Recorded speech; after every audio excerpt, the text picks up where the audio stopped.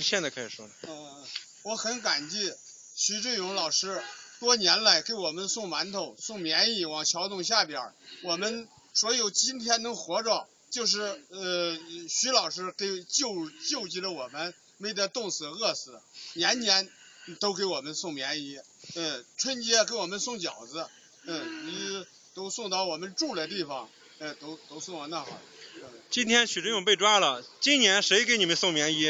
呃，今年我还不知道谁能送，都被砸我。求助了呃很多呃呃呃地方政府，呃也不给我呃低保，也啥都没有。现在我是儿子被杀了，凶手给放了，呃，许志勇的被抓，你有什么感想？许志勇被抓，我认为说都抓反了，呃，坏人不抓，抓好人。我认为说这是呃，这是也是我认为说腐败的耻辱，他们的。